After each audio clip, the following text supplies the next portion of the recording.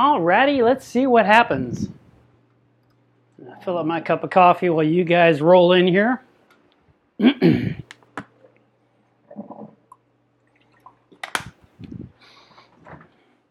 also want to try something out with webcam number two today.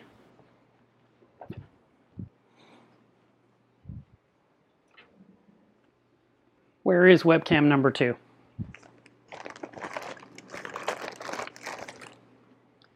How is it that I can put things down and lose them forever? All right, here we go. Hello, everyone. Hi, Kelly. Hey, Shane, how are you? So I want to try something today. Don't know if it's going to work. Probably won't. Matter of fact, I need a tripod. But while we're waiting for everyone to get here, we can kind of chat for a couple of minutes. I really need an extension wire too. That was one of my limiting factors last week.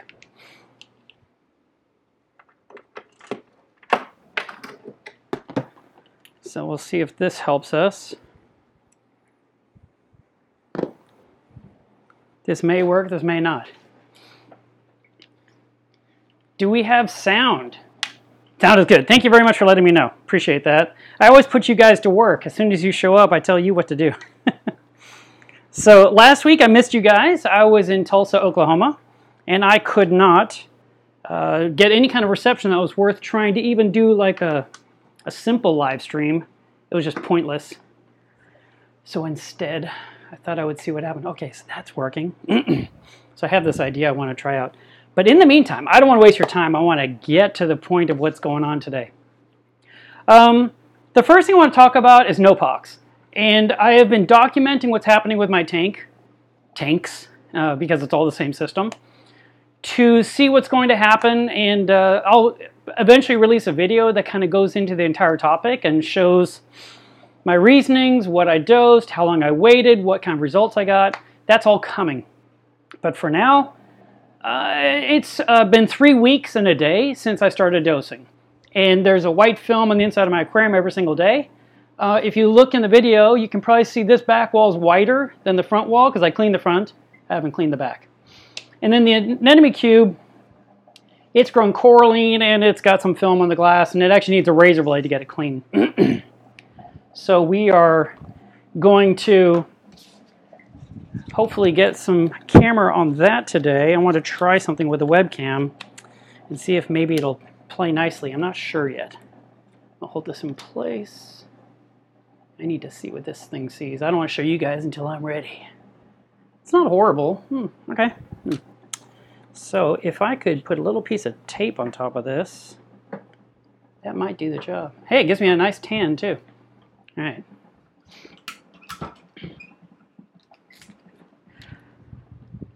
One of the things that I've been encountering from a lot of people uh, that surprised me is that I always tend to think people know what the heck I'm, I'm doing. They, they seem to know exactly what I'm doing in my life.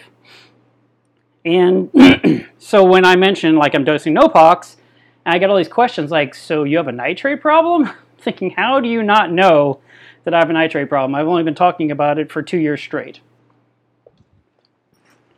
So part of that video will obviously go into what I've used, why it got that high, why I care, and uh, hopefully how successful I was in resolving the problem. That is my ultimate goal. My coffee just finished. Um, let me tell you about Tulsa, Oklahoma really quick, and then we're going to jump into our topic. So Tulsa is about almost five hours away by car, and I drove up there on Friday, got there early Saturday morning, got a little bit of sleep, and then the show happened in the Hard Rock Cafe and uh, or Hard Rock Casino and Convention Center, and that was a kind of a surprising venue for a frag swap or a frag event. They called it the uh, Tornado Alley Reef Expo. And what I really liked about it was that we had a nice room and we had, you know, and uh, it was dark. So everyone had their tanks glowing blue. I, I got this shirt while I was there, which is from, I can't remember here. I'll just let you guys look at the back. North American something something. and uh, I like the shirt, and I said to Justin, I want that shirt. And so he gave me one. I said, Do you mind if I wear it on YouTube? He was laughing. Oh, yes, don't, don't show my company name on YouTube, whatever you do. So I thought that was pretty funny. I like this shirt. So what I'm hoping to do here is maybe give you a view of the anemone cube while we're talking today with an orange filter so it doesn't look like a mess. So I'm, I'm setting that up right now, hoping this will work. No guarantees. This might need more scotch tape too. See, I didn't want to put a lot of tape on there, and then when I look at the tape, you see scotch tape on all four sides, you know? So we're going to try a couple of tricks here. Let's see. Yeah, that looks classy. Hey, it's working. okay. Uh, let's see. All right, it's not horrible. The tank is actually uh, significantly bluer than you're seeing right now. It's a little tilted too. How do I get this straight? I'm trying to get level. Do we care if it's level? Probably not. And I'll turn this other thing off the screen. Sorry guys, I didn't mean to leave that there quite that long. Where is that intro thing? Turn this off. All right. Now when I did this in the past, and I was talking, I was picture in picture. But I don't see the picture in picture thing happening this time. So I don't know. Um, do you prefer looking at the tank and listening to my voice? or do you prefer seeing my face on your screen? Of course, I could do this from time to time. I'm joking. Um, let me fill up my cup of coffee really quick here. I want to talk about new tanks and what happens when you set them up because there's some frustrations that I see hobbyists dealing with on a regular basis and it concerns me. And I want your life to be easier, not harder. So today's topic is going to be about that specifically. Um, let me pull this up because this is kind of a serious topic. So let's let's talk together as a as a group. Um, when you guys set up a new tank with dry sand and dry rock because you're opposed to any kind of risk of pests, I understand why you're asking for that, and I understand, uh, you know, the, the feeling. But the problem is the pendulum has swung too far toward pristine and pure to the point where people get upset if their sand starts to get dirty or if their, um, their glass gets some algae. And they just want that perfection all the time, and that is completely unnatural. How many of you have a perfect yard in front of your house where everything is just exactly right?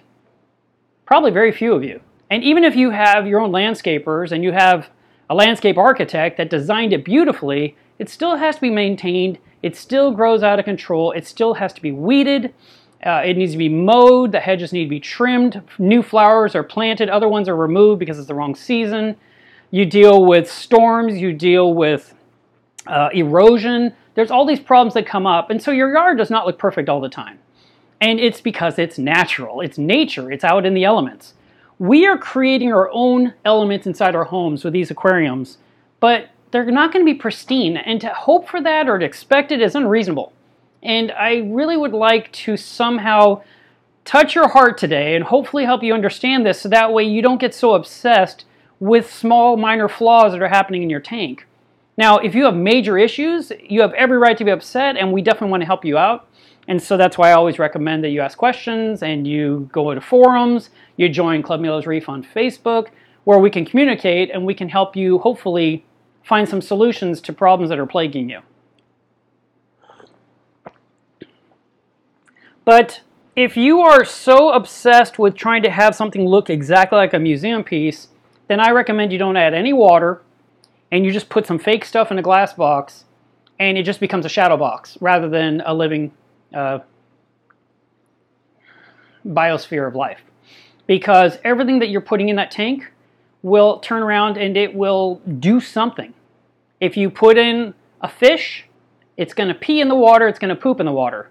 And you're going to put food in the water for that fish to eat, and it's going to continue to do that. And you've got this constant cycle of clean and dirt, clean and dirt happening on a regular basis.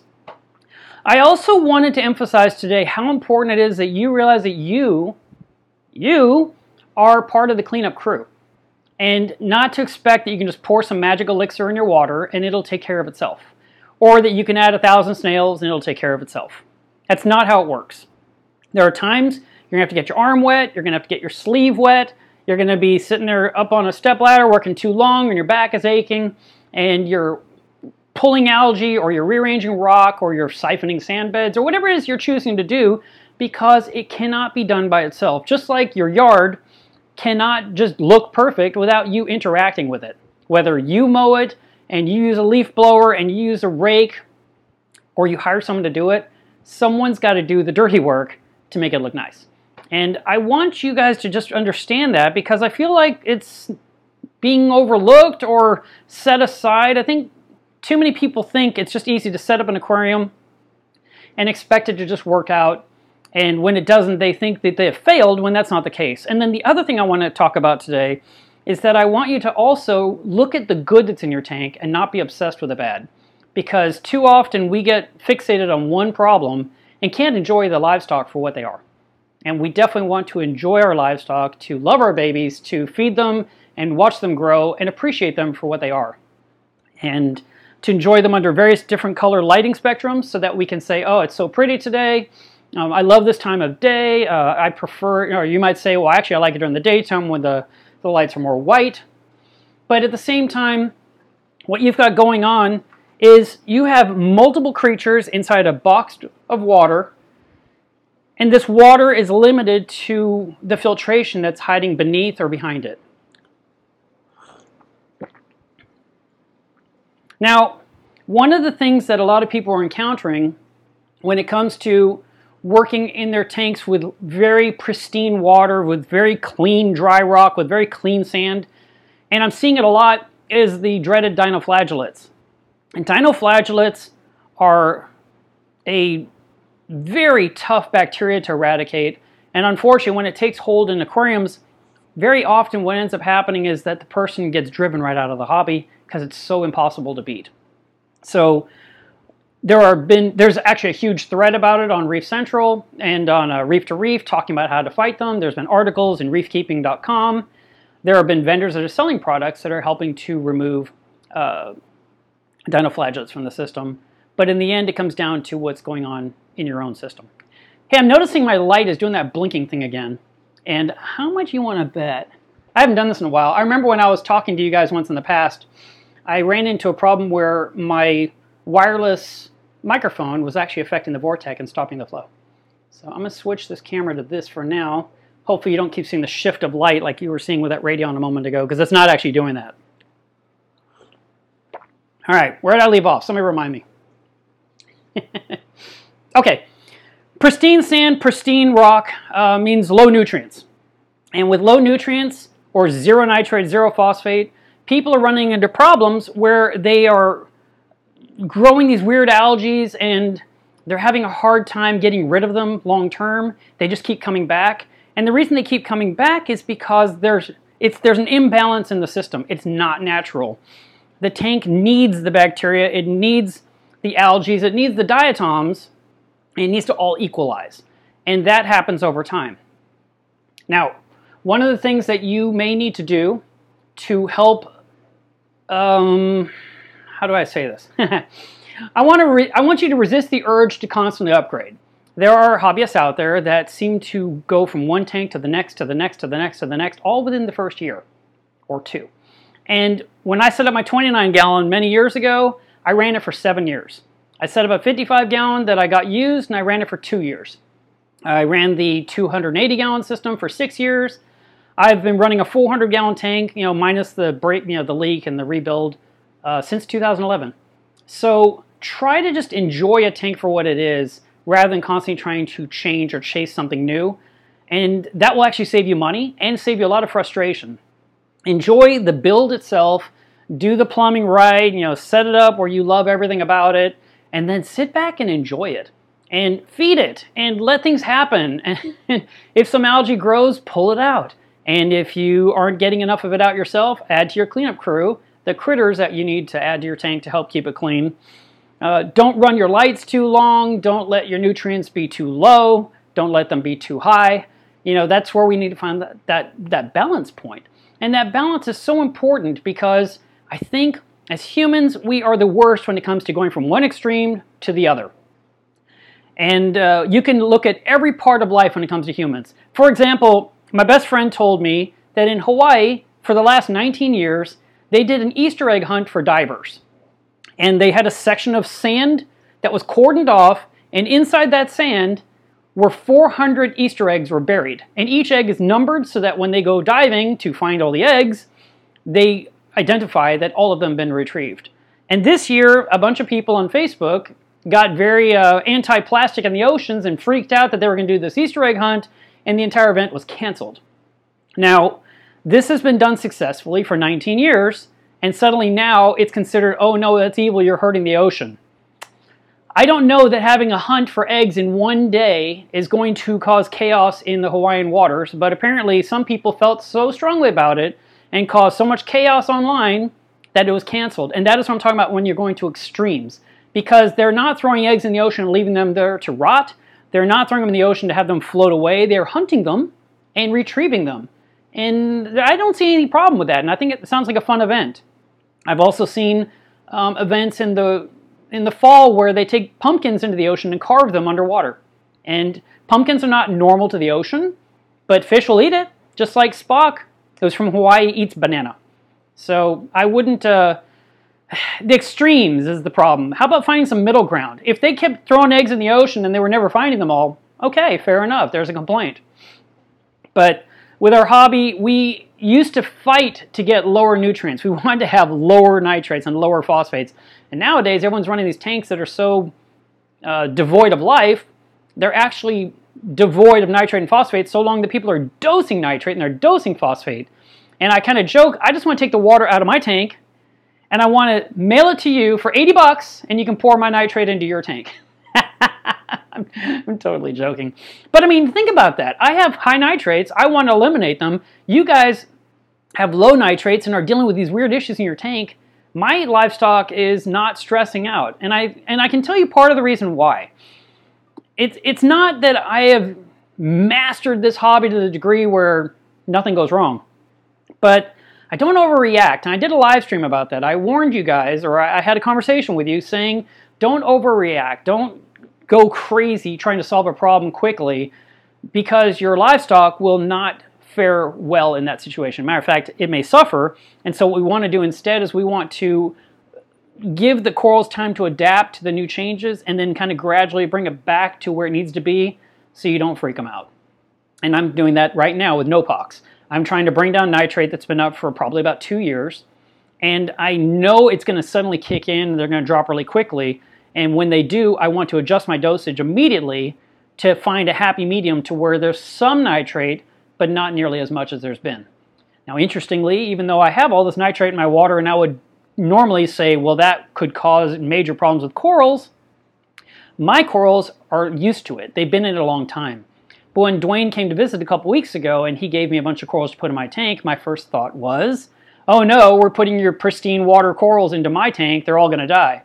And none of them died. They all did well, which is interesting to me because I would have expected them to not like my nitrate laden water.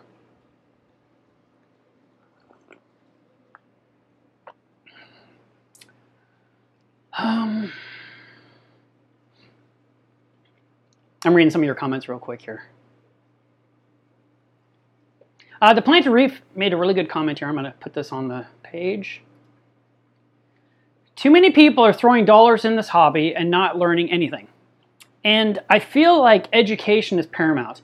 Now, I live on social media and I'm constantly reading the latest posts. I'm, I'm involved with the latest discussions. I, mean, I don't know everything, but I, I like to see what people are talking about.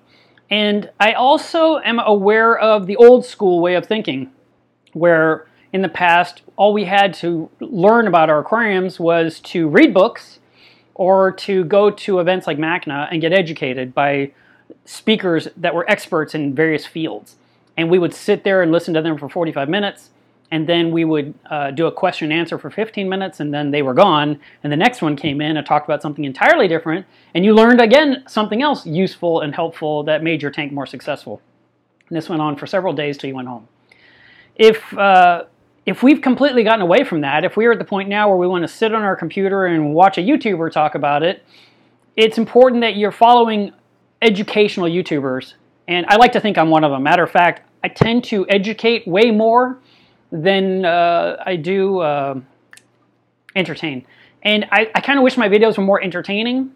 I think they would be more uh, popular. But then, usually, if you're entertaining, it's because it was funny, it was exciting, it was hilarious, it was accidental, that kind of thing, and those get a lot of views. Where when you're learning something, the audience is going to be smaller, and that's kind of normal, and that's why my audience is where it is after you know three and a half years of making videos.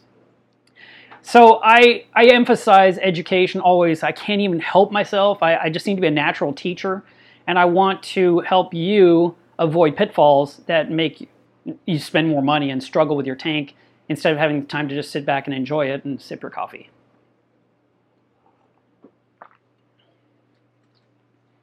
Now, let's, uh, okay. One of the things that uh, I read recently on social media was some authors. Remember, I was talking a second ago, I was talking about old school and, and books. One of the authors wrote a thread and was discussing the fact that in this day and age, a lot of people are buying ebooks off of Amazon or using the Kindle to read things.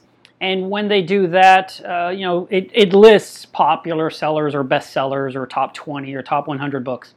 And as he was looking at the list of books, uh, the choices were really pretty poor compared to what we got 15 years ago. And like one popular book, one that was selling well on Amazon, was only 60 pages long, and it guaranteed you could set up a tank in seconds and they were, you know, the other authors were upset with this type of thinking because there's so much to learn. And anyone that's spent any time in this hobby at all has learned that not only do you learn how to take care of water, but you learn to be an electrician, you learn to be a plumber, you learn to be a photographer, you learn to be a chemist. Uh, there's a whole bunch of, and you might even have some uh, construction, you know, as in working with lumber or, uh, or steel, you know, or welding. So, and then there's painting.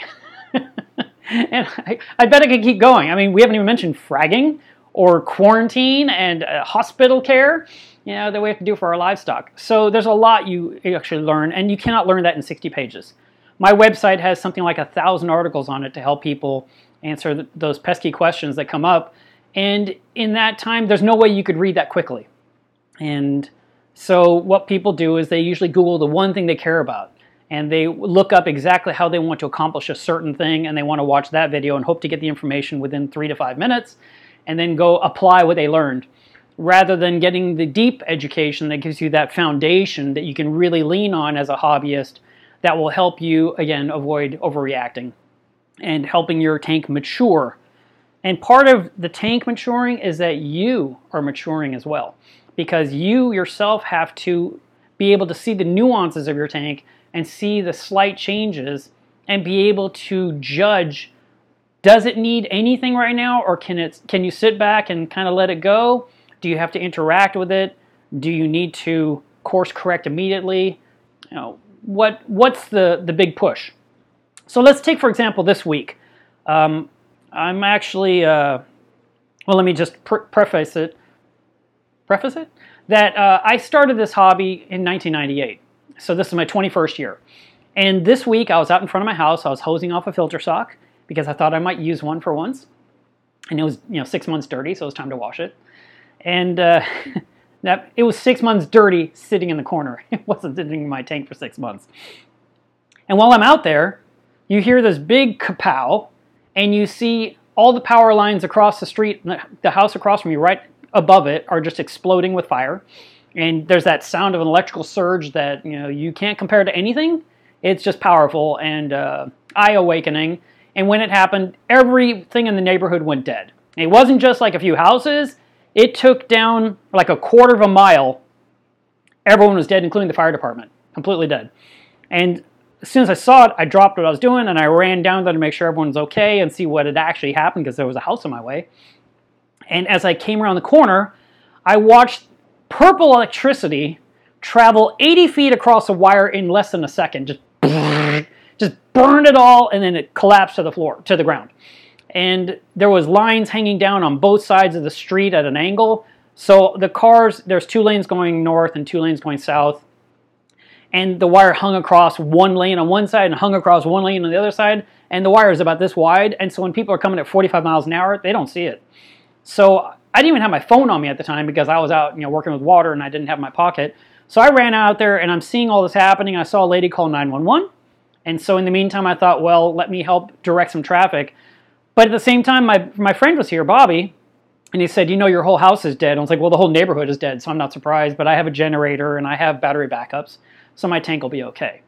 And I didn't really sweat it. And I spent about 20 minutes instead helping navigate traffic through the one safe lane on either side of the median until the fire department got there and then later the police got there and they took over. And because anyone that ignored me, you know, because you, you're telling them, slow down, stop, you know, you're waving your hands, and they're looking at you like you're insane, and they just keep coming at full speed. And then they hit the wire, and of course they slam on the brakes. and I'm like, yeah, why do you think I was telling you to slow down? And so they creep through, and the wire's dragging across their car. And you know, then other cars behind them see what's happening. They scooch over finally, and then eventually I just started standing in their lane and blocking them, so they had to go to the safe lane and I'd jump across the median and do the same thing on that side. And uh, yeah, so that was a big mess. Now, what was the result of me coming back inside after all this had happened? Well, the good news is, whatever had happened, whatever had burned up, it didn't actually destroy the power in the neighborhood. It basically tripped some breakers back at wherever electricity comes from, and they restarted the neighborhood. So we all had power again. And with my tank, the only two things that happened was the circulation pump on my uh, big saltwater vat the one behind this wall, toast, completely destroyed, will not come to life. It was blazing hot uh, when you put your hand on it. Uh, I, I'm just replacing it with something different, and I'm looking forward to that. And then I discovered that one of the two power supplies to my Vortech pumps has finally reached the end of its life after uh, nine years. And so I contacted Ecotech and said I need new power supplies immediately and they got them shipped out the very next day, and they were basically air freighted. You know, they're here the next the day after that. So I've got two power supplies now on my Vortechs, and I feel good because I know that I can trust them to restart properly every single time uh, if there's a need.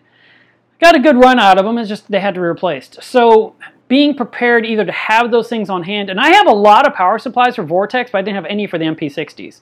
So it was smart for me to go ahead and look closely at my gear after this big power shortage and make sure my tank was okay. So I wanted to kind of bring you up to date on that one because things happen to all of us.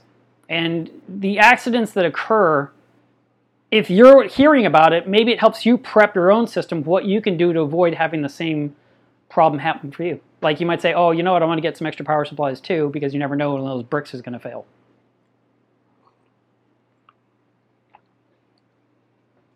Uh, let's see. So I talked to you about not upgrading constantly. and uh, I talked to you about not trying to keep a pristine tank. And uh, that's pretty much my whole. I mean, it, it's not a deep thought, it's not a long, lengthy discussion. It's more a matter of accepting that your tank is going to go through various things to where you have to allow it to evolve. It's going to have to uh, grow through the various ugly algae phases. And there was a guy that did a thread recently in Club Melev's Reef, and he said, I want my sand to stay white. I'm starting to get the dreaded uh, diatoms. And I was like, why are they dreaded? They're totally normal. That's what bacteria eats. You want those. Because when you have diatoms, then the bacteria eats that, and the bacteria grow in number, and then they can handle the waste that's coming off your fish and off your corals. So, yeah, have some diatoms. That's okay. Diatoms are not to be dreaded. Dinoflagellates, maybe he mixed it up with that. Those are definitely dreaded, and we don't want those in our tank. And they seem to occur in tanks that are too low on nitrate and phosphate, you know, basically reading zero, zero. So let's try to avoid letting that happen. Alrighty, um, I'm going to stick this on the screen just because I do it each time I'm on the live stream. So Club Melev's Reef is on Facebook, and it is, I think we're around 4,500 people in there right now and we work very hard to keep the peace. And we make sure that everyone gets along and that we're nice to each other and that we answer each other's questions. And that is the, the only rule of that group is to treat others kindly. So as long as you guys are abiding by that, you're welcome. And if you can't, then go away. Go to the angry groups. Get out of my group. and uh, I'm also going to stick this on here. And I want to stick this on here too. So on Facebook.com, I have a page that's Melev's Reef Inc. And that is where I share a lot of interesting things every single day uh, that I come across on the web that I think you might enjoy. And that is the page for my company. And then, of course, the larger font at the bottom, melevsreef.com, is my company where I sell products, uh, whether it be Live Rock Enhance or uh, Vortech uh, pumps or uh, acrylic things I build myself. These are all things that I do uh, to help pay the bills and to uh, to help make your reefing a little bit easier because I'm selling you the various things that I use myself in my tank. So I do appreciate any kind of business you throw my way, and uh, I always ask you guys to not forget me when you're shopping for new things. And I do want to thank you guys. I want to point out something about last weekend. So when I was in Tulsa, I did a booth, and I haven't done a booth in probably a year and a half. And I discovered that setting up a booth and bringing all the, the goods with me I wasn't selling anything because everyone wanted to come up and meet me because I was on YouTube. And I, am glad, you know, I, I, love meeting you guys and talking with you and hearing about your tanks and stuff. But if I don't sell anything in that booth, uh, it becomes expensive, uh, one way or another. Whether it was the, the cost involved in traveling, the cost in shipping the, the stuff there, the lack of sales themselves, you know, when that's how I make a living, that was a problem. And this last weekend, a lot of people came through the booth and bought things. And I want to thank you for being willing to do that because I don't do those very often. I kind of felt like maybe I was past the selling in a booth thing just because everyone wanted to just talk and visit and catch up and and, uh, and say hi. And I totally get that. And I, uh, you know, I, hmm, I just I try to always have things in the booth that I know you're going to need and hope you'll just stock up on a few things while you're standing in front of me. So those that do that, I really appreciate it. All right. So let's answer some of your questions today because I think that would be fun to do. I haven't done that in a little while. I saw someone asking earlier about LiveRock Enhance. I forget what their question was, though. Maybe they're asking for an update on how it's working. All right, let me just scroll up to this one. Um, we're going to start with this one from Frank the Tank. I have a question for all of you. I'm considering switching from BRS 2 part to Bionic. Anyone have any experience with switching? I can tell you this. Um, I have in the past used Bionic very successfully, and I love that product. And not only is it alkalinity and calcium, it also has something like 80 other trace elements in the bottle. So when I was dosing just that to my 29 gallon and my 55 gallon aquariums daily, I was pouring it in. It worked really well, and my both my tanks were beautiful, and it was super easy to use. And for those size tanks, it was economical. When you're doing with bigger tanks like this, I'm blown away that people want to use two-part dosing for huge tanks. And there are people that do it. I mean, Jimmy Pop Colson, I did a video of his tank in Las Vegas, I don't know, eight, nine years ago, uh, eight, nine months ago. And his tank is all SPS, and he's dosing basically a gallon of each solution every single day. so he's mixing up five gallons at a time or 10 gallons at a time. And that's a lot of work. For big systems, it makes sense to have a calcium reactor. For the smaller ones, I can totally understand the dosing. And for the really small tanks, you know, the all-in-ones, the ones that sit on a countertop or behind your sofa, uh, you know, or you know, even like I said, a 55, that's not that big, or a 90. I could see you dosing Bionic and being very happy with that product. And nowadays with dosing pumps, it's so much easier than what we did. We were manually adding it, trickling it in in an area of high flow. And you definitely want to do that. Even if you're dosing, dose into an area of high flow to where it's mixing into the water quickly and not just becoming a cloud of calcium and a cloud of magnesium and a cloud of alkalinity. Um, give you another view of the anemone cube while I look at these questions. So right here on the front are all these little purple spots. These are all coralline that haven't gotten off the glass yet. I uh, have been dosing magnesium recently, and whenever I do that, you start seeing it on the glass. All right.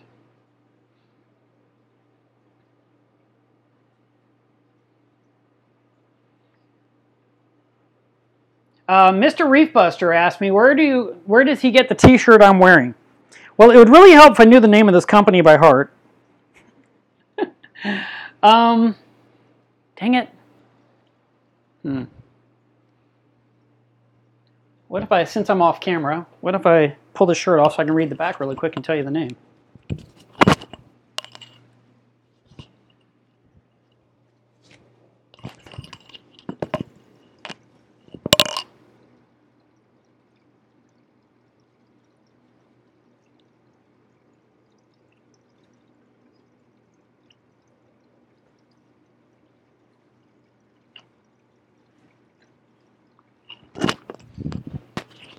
Alrighty.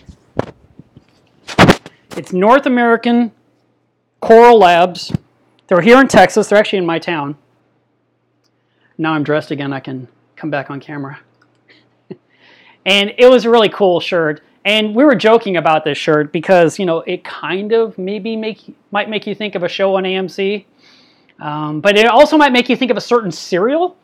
And you might think these corals are gr- no, I mean really cool corals. There's a lot going on in this shirt, but it's really cool, and uh, I had to have one. So that one I got from him. Oh, I see Andrew I already answered you a few minutes ago. Oh well, that's me working my way down the list. Rogue Aquariums, I'm sorry to tell you, the mug that you dropped is gone. That was limited edition. I only printed a certain amount of those mugs, and I have not ordered any more. So now, those of you that have a Melev's Reef mug, don't drop it because you will not get the same one again. I am thinking about ordering some new mugs, and uh, I might just do that here uh, this summer and make that available to you guys because I think they're pretty cool. I enjoy mine. All right.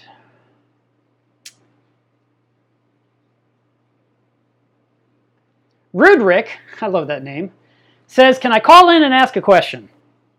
So let's assume for a moment you literally mean call in with a telephone and ask a question live like a radio station. That is not what the live stream is on YouTube, but you can post your question here on YouTube and I'll answer you. Um, I do have people that go to my website and find my phone number and call me up and ask me questions on a daily basis. And I definitely answer the phone and I do answer questions and I try to help people. And uh, it, I always get a, grin when I hear them say, You sound just like you do on YouTube. Or when I'm at the shows and they say, You act just like you act on YouTube. and I really think that people think I act a certain way on camera and then act differently the rest of them. This is literally me. I am a nerd. This is how I'm going to be around the clock. And the only time I don't act this way is when I'm asleep. Other than that, I pretty much live and breathe this hobby all day long, and I do it for a living. So, there you go. Dustin, uh, he said he's going to be picking up an RODI system for me soon. I really appreciate that. Thank you so much. And I have more um, more RODI parts coming in. They should be here by Tuesday. Another pallet of parts. I have been ordering a pallet of parts pretty much every month this year, trying to keep up with orders, which is awesome. And let's see. So I'm looking for questions here, just so you know. Uh, Tristan asks, how much flow is too much flow? And that's a good question because it is kind of hard to gauge something because we can't say you need this many gallons per hour or you need this, many gallons per minute. So instead, what we're looking at is what is the livestock doing in your flow? If the uh, anemones, for example, were being just pummeled and being ripped off the rock, if the LPS polyps of your coral were popping off the skeletons, if things never open up, they're just sealed tight because they're being hit by a blast of water, that's too much flow. Uh, typically, we cannot mimic the flow that's in the ocean. We are constantly trying to have a good amount, but the ocean is way more harsh and way more powerful than we can ever generate in our systems. And uh, there's lots of reasons for that, but mainly that we are probably being economical and we're not spending thousands of dollars to try and mimic what storms can do in the ocean, for example. How corals can be pounded with massive waves and then have some periods that are very still. When I was diving in Bonaire at night, I was actually thinking who turned off the flow because there was so little flow. It just seemed like nothing in the water was even moving. And I was kind of surprised. I expected some kind of activity at night. And that one particular spot, that one night, the water, you know, all the particulates were like staying still. They were like, like just barely moving. I was like, what is going on? It was, it was a weird, surreal moment for me because we constantly think about flow equals life equals, you know, uh, success. But uh, if you are, if you're not sure about how much flow to use, one of the things you can do to kind of get your tank used to it, instead of having your power head like right here, hitting directly into your livestock, you can put it up higher and blow across the front or you can put it on the back wall and blow it toward the front of the tank. Or you can have it on the side pointing toward the front to ricochet off the front and go back. So it's doing a V-type movement. And that may be a good way for you to handle learning what's best for your livestock. But eventually you'll be able to put things pretty much anywhere and they will just accept what you're doing. or they'll they'll grow into that area and do exactly what you were hoping. So that I hope will help you a little bit.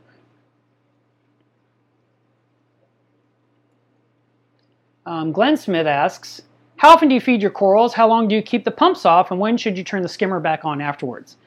Well, every single day I have an auto feeder dropping food into all of my tanks, all three, and it drops in flake food. It's uh, this stuff right here that is absolutely unavailable and cannot be purchased anymore.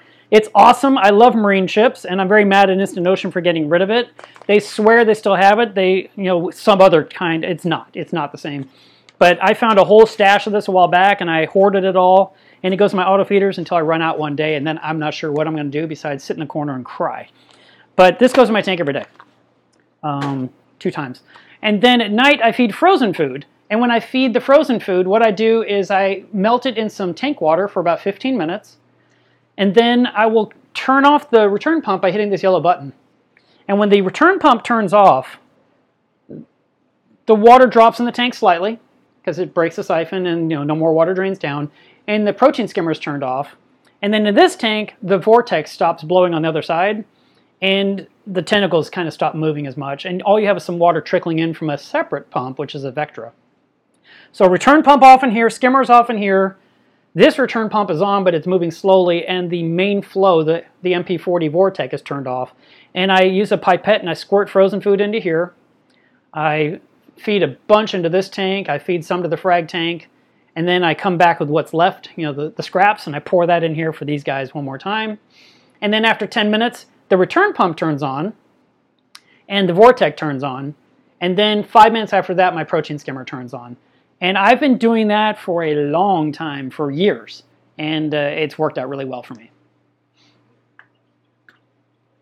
All right. Um, the whole thing about anemones and flow is interesting to me because I've had a lot of people give me opinions on my anemone cube tank and they say, if you had less flow, you'd have better bubbles. Or if you had more flow, you'd have better bubbles. Or if you had more light, you'd have better bubbles. Or if you had less light, you'd have better bubbles. I've tried lots of different things on this tank and nothing ever changes. These anemones always look like this. And occasionally somewhere up high, I will see a few tiny bubbles on a few of the little tiny anemones, but it never looks like those gorgeous bubbles that we see that seem to come from either aquaculture facilities or the ocean itself. I kind of wish I could do it, but for some reason I cannot. And who knows, maybe one day I'll figure it out. I would love to figure it out because if you Google this topic and, and read and read and read and read and read, you'll find out that nobody knows where the bubbles come from.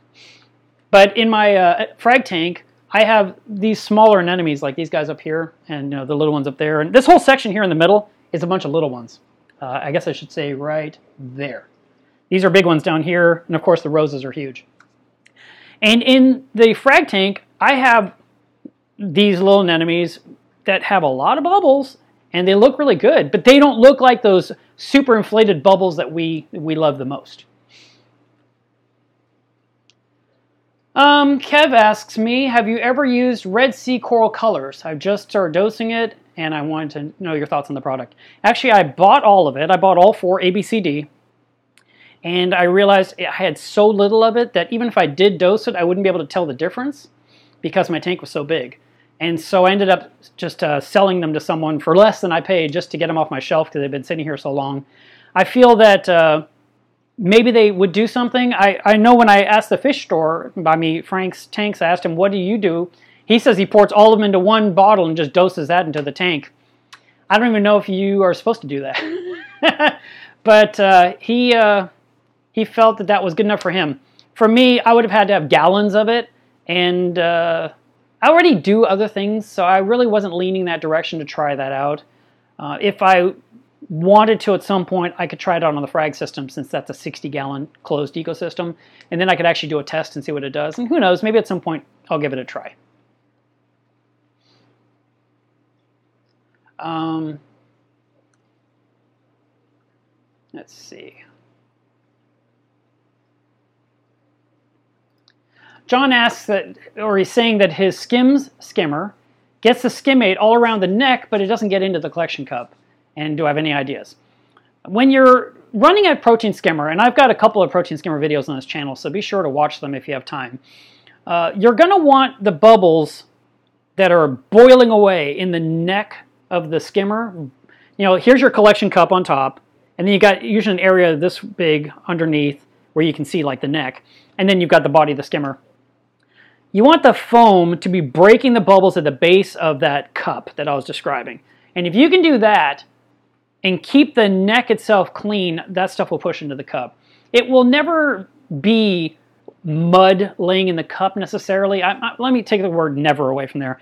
It's not common that you'll end up with mud in your cup. Sometimes you do, sometimes you don't. But it's going to be more like skimmate. And it's going to be uh, dark green, dark brownish green, kind of muddy looking, but not the not like pudding. Usually when that happens, something's going on in your tank, and I've seen that on occasion as well. But for the most part, expect some liquid in your cup and you'll have more of this crud on the inside of the neck. And that's why I tell people to clean the neck of their skimmer on a regular basis so that the skimming bubbles can push the dirt up and out as quickly as it can. And in the old days, before I did the skimmer swabby, which is a squeegee that cleans the neck, I had the uh, the cup off in the sink every single day. I would just clean it. it. Took me a minute, and I cleaned the cup and put it back on my skimmer, and I cleaned it every single night. While I was feeding the tank, I cleaned the skimmer cup. So maybe you'll find that just by cleaning the neck more frequently, you may be more pleased with the results of what your collection cup is pulling out. But it's uh, it's not basically the replacement of uh, a water change. It's more like a way to get the crud out of the system as it's happening. But we still have to keep cleaning it. Um, Jordan says, My tank just finished cycling. Congratulations. And I have no traces of algae. Should I hold off on adding a cleanup crew? Yes, you do not need a cleanup crew yet. Uh, your tank is new, the cycle is done. You are, I would even recommend you don't run the lights too long per day while there's nothing really in there. Uh, you know, if you add a fish or two, you don't need 8 to 12 hours of light on your tank for those fish. Uh, when you start adding some corals, you're going to want to add some light to the tank. But if you add a bunch of light to an empty tank that is finished cycling, you'll end up growing a bunch of algae. And then you're adding a cleanup crew. And then as the cleanup crew devours the algae and some of it dies or they kill each other, you start raising ammonia levels in the tank, and it's almost like you're starting the cycle again. so rather than just adding a clean crew, don't do it yet. Your tank doesn't quite need it. Let's add a little bit of livestock and see how your tank does. Keep on top of your water tests every weekend. I always recommend water test Saturday. Test your water parameters and see where things are going. And as you start to see algae, start adding that cleanup crew because you definitely want to stay ahead of it before it gets out of hand. But I would say you're probably a month out from needing to get any kind of cleanup crew critter. uh, yes, Reef Dudes, I am a real person. And why are you in plural? Still waiting to hear the answer to that one.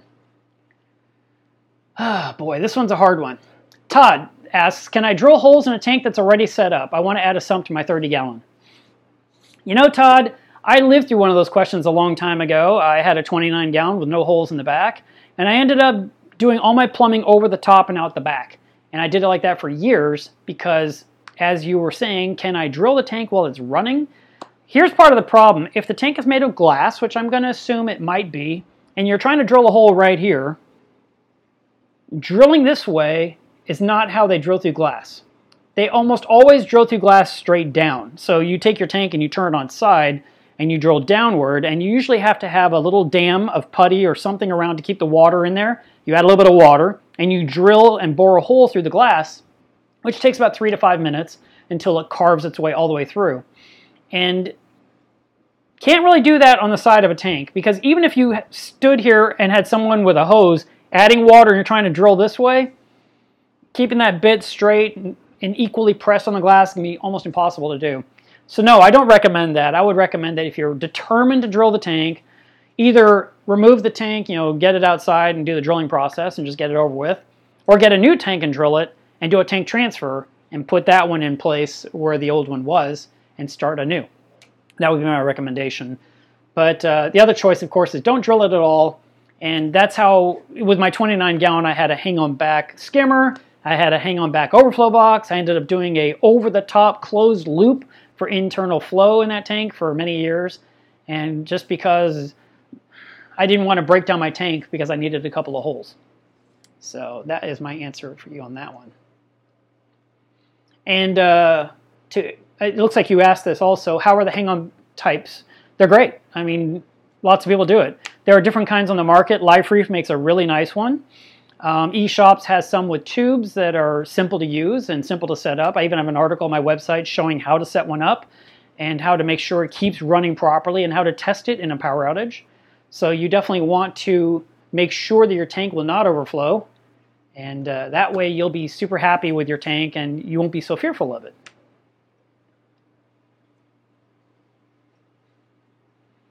Uh, let's see. Um, Mark asks, what dive lights did you use in Bonaire? I'm off to the Red Sea and need some new video lights. They were called Sea Life. And each light was 1500 lumens. So you should be able to find that on Amazon without too much trouble. I think you would look up Sea Life 3000 lumens and uh, light kit. And it was set up with a frame in the middle with handles that you could actually put a GoPro in the middle if that's what you're going to use. I shot everything with I did with an iPhone. All right.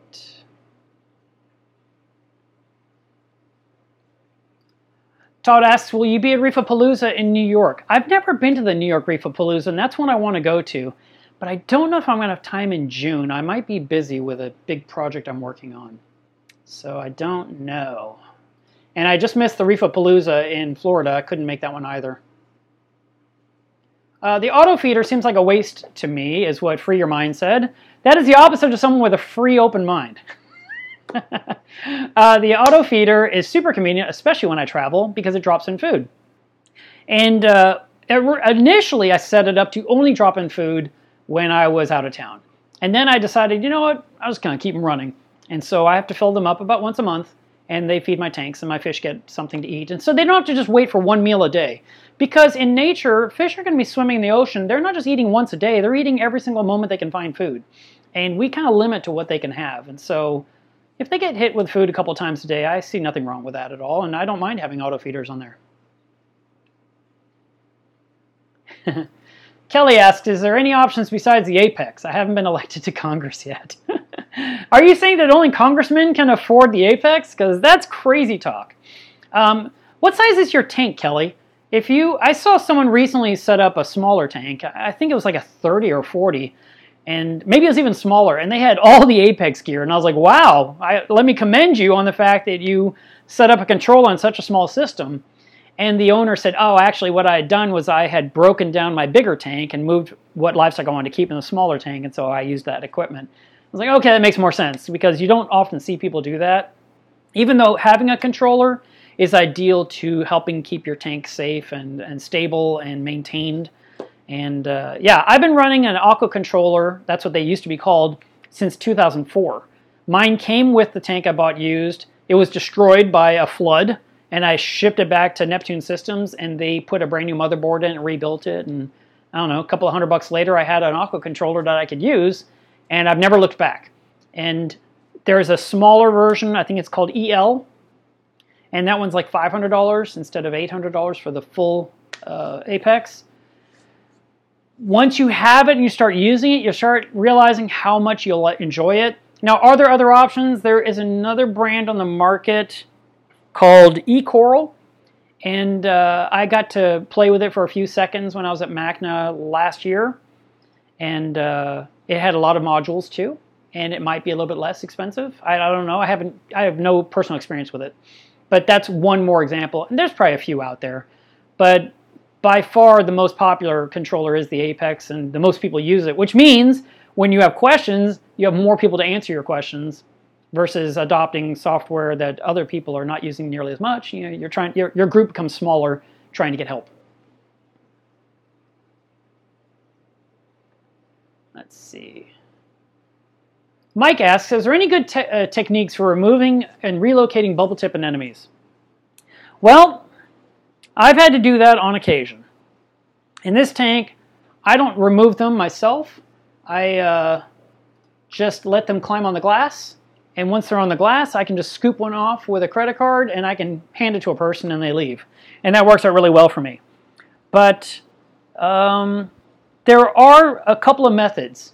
One thing you can do is you can hold the rock upside down over the water so that the anemone is hanging straight down and the weight of it will help as you get your fingernail under the foot and you pry it out. And so you would get your, your fingernail right there and you're holding the rock like this and you're kind of getting in there and kind of working your way your finger in to pull the anemone loose from the rockwork. That's one method. Another method is to take ice cubes and hold them against the foot of the anemone, you know, the, the, the base, the trunk, and you keep doing it. But you'll go through a lot of ice cubes because ice cubes melt quickly in our 75 to 79 degree water. And I remember doing it once, and I must have gone through 19 ice cubes till I finally got my anemone out of this one crevice it was in. And what it is is it gets cold, so it's retracting to get away from you. But usually the entire anemone is retracting rather than just like pulling its foot back. And so it's kind of a, a tricky situation. But for the most part, I'm more of a manual guy. I will take the rock and I will remove it or I'll turn it and I'll get a credit card or my fingernail and I get under that anemone and I force it off the rock. That is my technique. Let's see. Tristan, my enemy got sucked into the power head. What should I do? I don't know when this happened. You didn't give us more details, but I'll tell you this, that when anemones get chopped up by a power head, two things often happen. Uh, the first one is the anemone gets badly damaged, and it can end up sending out nematocysts into your tank, and those stingers can kill your other fish and livestock as it lands on everything. So that's a downside. And the other part is sometimes the anemone survives. And so if you can just turn off the pump and maybe take the pump and the power head, you know, the anemone and just set it down on the bottom and let them retract themselves apart, the anemone may pull itself out of there, or you might have to help it out. It, it's going to be one of those things where you have to kind of figure out what works best for you and how long you're willing to wait. But uh, what I always recommend is that you always have a cover on your power head to protect it from anything getting sucked in. And so in my case, for years I had a foam sponge, and every single night I'd turn off that pump when I fed the tank, and I took the sponge off and I washed it, and then I put it back on the pump and I started it up again. And I never, ever, not once had an enemy go into that pump. And this tank's been running for over five years. Then about mm, a year ago, I made that acrylic cage that's sitting there, which you can see in this video right here. Right here. And I take this cage off about once a month. The coralline looks fantastic on it. It's kind of amazing to me. And I take the cage off and I take it to the sink with a toothbrush and I hit it really quick under tap water to kind of knock off the things that bother me. And then I go ahead and I uh, put it back in the tank, and the coralline doesn't die. And I'm amazed because I would think that the fresh water would really hurt the stuff. But it's held up really well, and now it's kind of blended in, and I like it. Initially, I was trying to keep it clear because the acrylic is clear, and that way it was semi-invisible. But uh, I'm actually liking the coralline look that I've got going on there. And I've had anemones. You can see some anemones at the top right there. And I've had some walking along the edge there, and nothing bad has happened. They've just walked on past it and kept going. So always protect your power heads from uh, anemones being sucked in. And typically, like I said, using a sponge is the best method. It's the easiest one, and you can remove it for cleaning. Uh, the Vortechs make a foam guard, and uh, if you have Vortechs pumps, you need that foam guard, let me know. A lot of people have asked me if I can make the cage for their, tank, their different pumps. Well, I made it for the MP40. And I could probably make it for the MP60, but I can't make it for the MP10 because it's too small. And you need someone that can make that that has a laser cutter. Or you can have someone 3D print a cage around it that you can set around it. That's another option that I've seen available. So, let's see. Um, Steven says, I'm in Texas and I'm concerned about heat, and you don't run a chiller. That's correct, I don't. And I do have a couple of cooling fans that blow down on the water of my sump as needed based on when the Apex calls for it. So I basically keep my home comfortable because I work from home and I'm here all the time. And uh, I keep the house temperature around 71, 72 degrees, I guess. And then the fan comes on at like 79 degrees and turns off at 78 and a half. So basically, if the tank gets to 79 or higher, my fan is running until the tank temperature comes down a little bit, and then finally it shuts off. And I try not. I used to in the past, I would use a uh, a mechanical timer that would just turn it on from like 3 p.m. till 1 in the morning.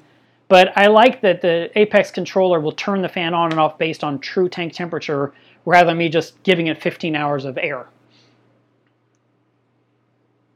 Okay.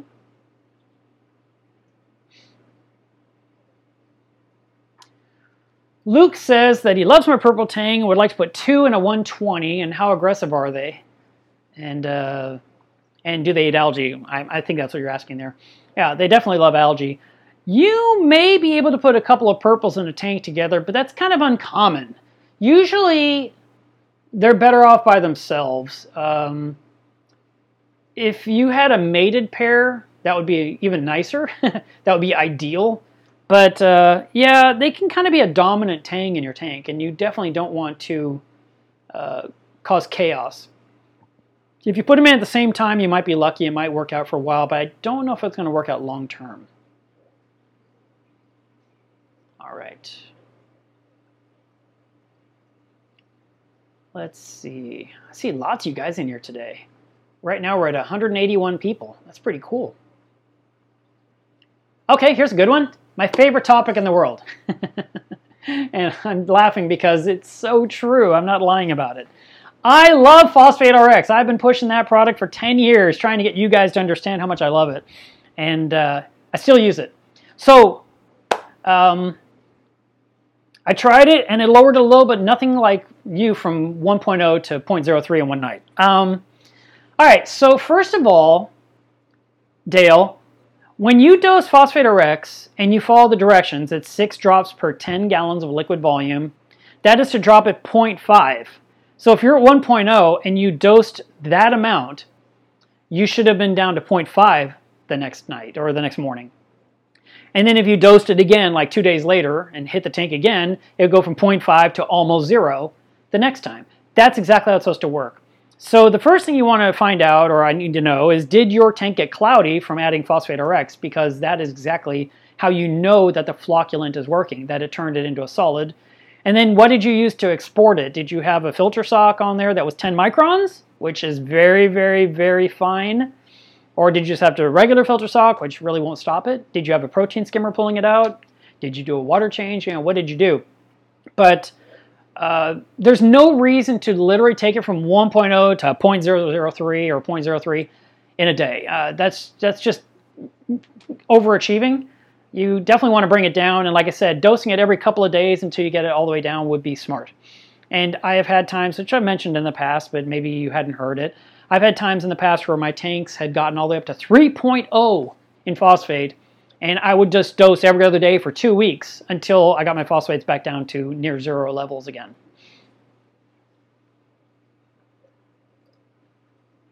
So I'll keep scrolling through the comments and see if you reply more, because I'm a little bit behind. Uh, so since I said no to the New York one, someone asked, well, are you going to go to the Reef-A-Palooza in California in August? I don't know.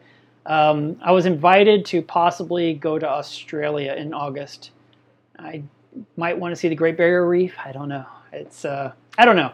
I've got another trip in mind that has nothing to do with that that I'm thinking about doing also. There's so many things coming up. It's just really hard for me to decide what to do and how many hours in the day I have. Okay, so I found another comment from Dale. I have 400 gallons. How many drops do I put in if I have phosphates at 0.25? All right, so we're using more specific numbers. 400 divided by 10 is 40. And normally you would use six drops to drop it half. But you're not coming down half, you're coming down 0.25, so you need three drops. So you need 120 drops of phosphate RX to bring your 0.25 to near zero levels. Look at that. I did math on camera without making mistakes. Um,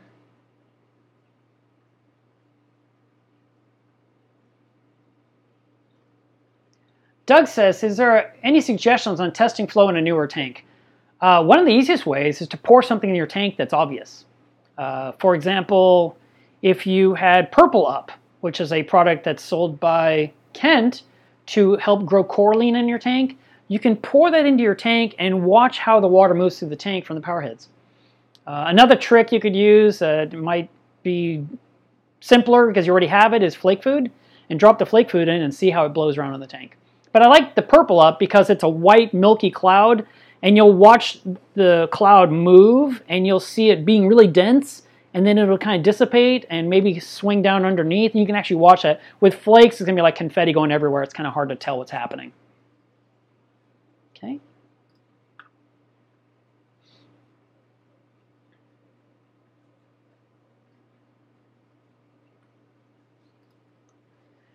Uh, Reef and Dive says I've been giving my fish a mix of shrimp, octopus, fish, vitamin C, nori, and gelatin, making my own frozen food. That's a recipe of the other Brazilian dudes. Is that okay to use as DIY frozen food? It seems okay. Um, the gel binder may not be necessary. I never used one when I made my own fish food. I have an article on my website where I I used a, a food processor and a bunch of frozen food that was a uh, like shrimp, scallops, uh, squid, octopus, uh, clam. The only thing I threw away was the real imitation imitation crab meat because if it's imitation, I don't want it. So that I would throw out. That was the one thing I threw away. Uh, mussels were fine. And then I would add other things to that as well, including spirulina powder. And I would uh, add some of the different frozen foods I had. I just kind of chopped it all up and blended it all up so I had all different sizes of food. And I like to have some coarse food, and I like to have some very fine food. And so I would sometimes freeze some of it that was larger and then keep processing to make it finer in a separate bag, and that way I could make sure I had the right sizes for whatever size fish were in my tank. Because you don't want to give really large fish tiny little crumbs, and you don't want to have really big food going into the mouths of tiny fish that can't get it past their jaw. So you kind of have to find that sweet spot. But yeah, you can definitely make your own. I was just talking with Dwayne about this last night. We, we were on the phone a lot lately, and he was saying how his uh, he made his own fish food, but after he bought everything he needed, he spent a hundred bucks. And he said, you know, if I'm spending a hundred bucks, why am I not just buying Rod's food or Larry's food? And I said, yeah, why aren't you? Because that's what I do.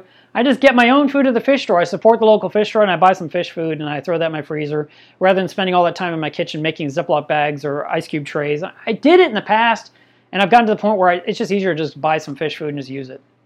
But I get it. I get it. You know, it just depends if you're like Dwayne and I, and you're using the high dollar stuff, you're really not saving any money. You might feel better because you know exactly what you're putting in the tank, you know, because you bought the ingredients, but yeah. Uh, Trunda asked the question, what were your hobbies prior to reefing? well, I used to run a bulletin board system years ago, a BBS, and that was a big hobby of mine, and I did the support software for the uh, the BBS, as well as coded some games. I did all that. I spent a lot of time at my computer. I told you guys I was a nerd. And I also enjoyed photography back then, and I have taken photography further with the uh, aquarium hobby because I'd gotten involved with macro photography, and I really enjoyed that. So that was kind of my major ones. You know, I didn't really have anything. I, have always enjoyed woodwork, working, uh, building things, whether it was smaller things like cabinetry all the way up to building houses. But you can't really call building a house a, a hobby unless it's your own and you spend 20 years doing it. All right. Let's see. Okay, so the purple tang question, Matt's made the comment that if you did three or more purple tangs, it should be okay. And that's true. But again, we're dealing with how big is the tank? You know, I think he said it was a 120. And, you know, that's going to start off great. You can have three adorable purple tangs in there. And having a group of them is better than two. So that may work, but you may discover as they get larger, you're going to have to split them up and send them to other homes. I don't think long term you're going to get away with that. Hey, I've gotten to the bottom of the questions. I always like it when I'm close by. Um, okay. have you ever had the auto feeder fall into your tank while doing maintenance? I have never dropped an auto feeder in the tank while I was cleaning the tank. I watched Spock, my Naso, pull the entire auto feeder and chimney into the tank because the chimney was made a certain size and she got in there and was kicking her tail and she pulled the entire thing down into the tank and so the auto feeder was busy doing the spinning thing and as it was sinking in the tank it was spinning around and around and around the actual drum was turning and the food was going everywhere and uh, I watched her do it, and I was like, wow. And that's when I changed the way I make my chimneys. And I've been making this style of chimney, which you guys can, I'll do this real quick. Hey, look, we got a snail. So here's the chimney, and it's just a small square hole that sits on top of the overflow box. And then I just put the Eheim on top, and then we'll just do a demonstration while we're watching live on camera.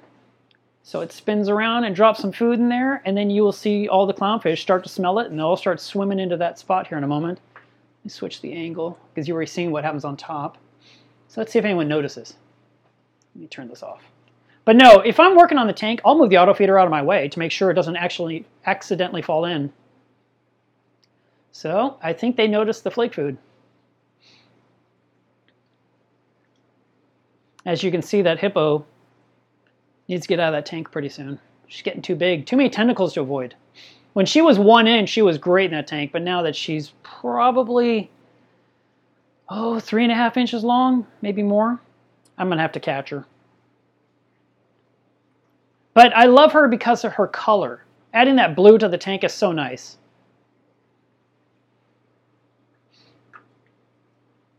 All right, so first Free Your Mind said, didn't like the auto feeder. Then said, have you ever dropped an auto feeder in your tank? And now he admit, admitted that he dropped one in. Just because you dropped one in the tank doesn't mean it's a bad item to have. It just means you got to be more careful.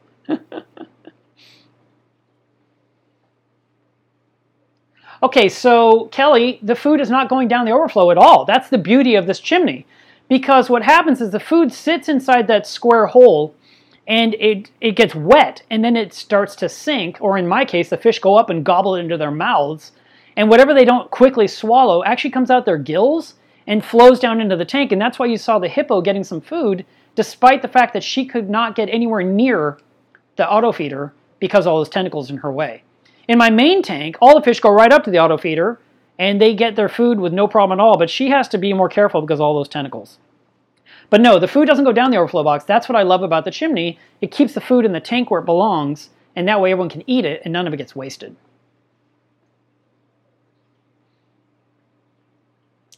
All right. Um,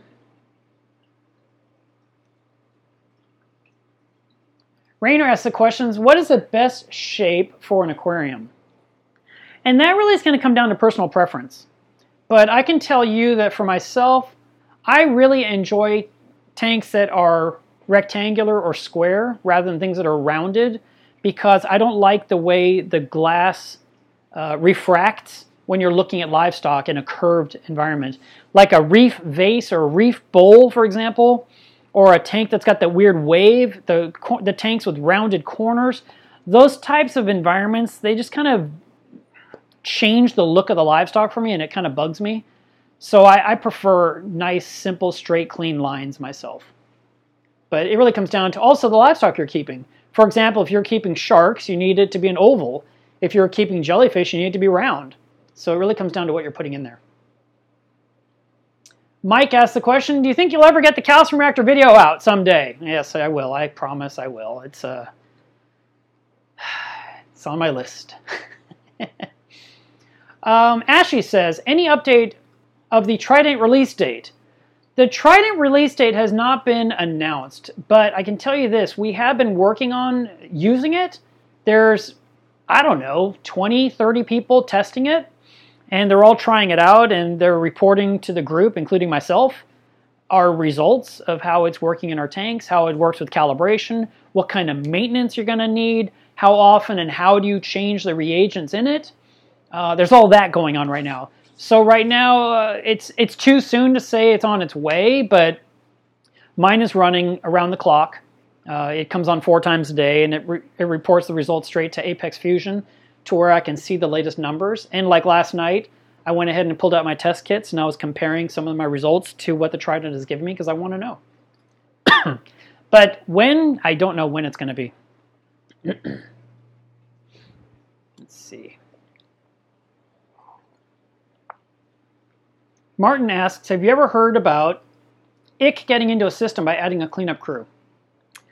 I have heard it like one time, so let's say it's happened twice. um, that's been posted about, which means maybe it's happened to 100 people out of 100,000 people. Uh, is it possible? Yes. Is it likely or could you expect it? It really shouldn't be the case. Typically, fish stores don't put the cleanup crew in the fish systems because the fish systems often in the stores are going to be lower salinity and uh, the cleanup crew needs a higher salinity, so those usually are in their own tanks. And but you know when they're reaching in the tanks, just by reaching in with their hands or with their net or with their little plastic container they hang on the side of the tank, it could be transferred from one system to the next. There is a possibility of cross contamination. So it is possible, but it's kind of unusual. I would think that what you could do, um, I mean. I'll tell you this. I have been buying cleanup crews for years. And I put them, I get them acclimated, I put them in my tank. I don't put them through coral dips, I don't put them through any kind of dips, I don't put them in quarantine, I just put them in my tanks. And I have seen ick occasionally, but I've never had an outbreak that was concerning or something where I had to deal with a big disaster. So I would hope the same results for you, but you know, obviously there's always going to be that one case where something bad happened to one person, but it's not very common. Let's see. Oh, this is a good one. Olivier asks, any thoughts on Sally Lightfoot crabs? Are they reef safe or not? I just added three in a 525 liter system. I'm a little bit worried now. You know, the same thing happened to me I got myself a Sally Lightfoot because I thought it was a really cool looking crab. And then, of course, I got online and I wanted to see what people thought. And it was like a 50 50 thing. 50% said totally fine, and 50% said, oh my God, you should not have put that in your reef. I didn't have a bad experience. I have seen them in reef tanks in the past. I don't know what kind of havoc they could cause. Personally, I didn't run into any issues, but they're very fast moving crabs, and I guess in that case, they may have the ability to catch fish or catch fish that are sleeping. So I guess keep doing your homework. The answer is I don't know for a fact that they're not reef safe. Um, I like I said, people like to get them, and uh, they are interesting. I don't. I wouldn't say that they're helpful to the cleanup crew. I think they're more interesting to look at and enjoyable as a pet. But uh, maybe. Uh, well, let's put it this way: I haven't bought one in a long time. so there's your answer. uh, okay.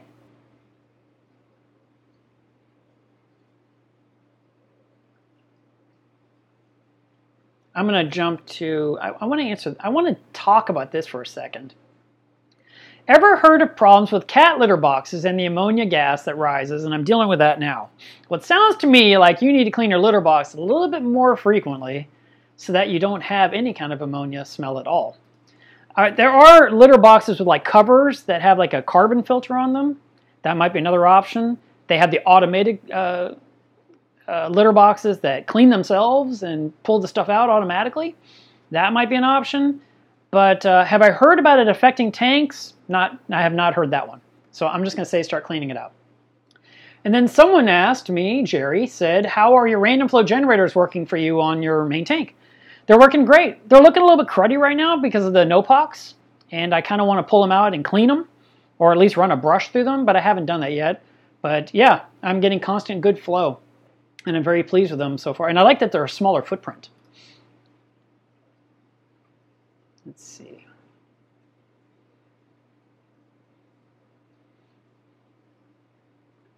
Uh,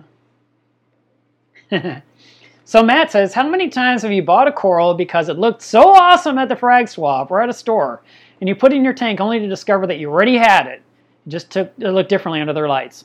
Uh, that's a great question. And there has been the occasional time where I have rebought something I already had. Not very often, but occasionally I'll like, I already had that? Are you kidding me? It happens. I think we get caught up, we get excited. And I'll tell you, not just with tanks, because I was at Comic Con and I bought the same comic book twice. I came home and like, yes! And I looked at my shelves like, oh, I had it already. So I gave it to someone else. Let's see. Oh my goodness, Tidal Gardens popped in here. I guess his live stream is done. Actually, I saw quite a few YouTubers in here. I love it. and just like his show, what's up, guys? Let's see.